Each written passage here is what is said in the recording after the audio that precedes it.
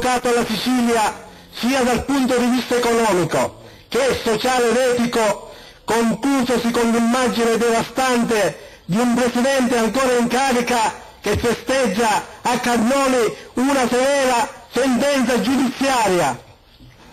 La Finocchiaro è sicuramente l'altra faccia della medaglia, che può ridare speranza alla Sicilia.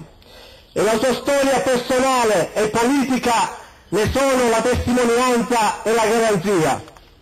Non ultimo il suo impegno al Senato della Repubblica, che è stato di alto profilo e ha saputo amministrare con competenza, professionalità ed equilibrio, pur in presenza di un contesto non certo facile, voi per i nomi, voi per le turbulenze interne alla coalizione.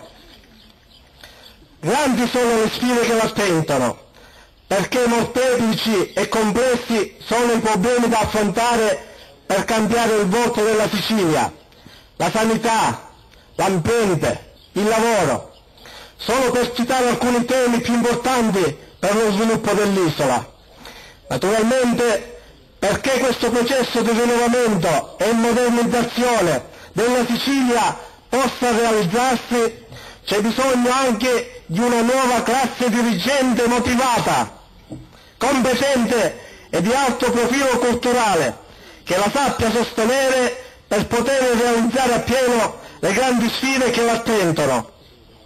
Certo, bisogna vincerla questa competizione elettorale, che è difficile, ma che se saputa combattere, visto il consenso personale che Anna Finocchiaro riscuote anche su larghe fasce del centro-destra, questa volta ci auguriamo possa essere davvero vinta per il bene della Sicilia.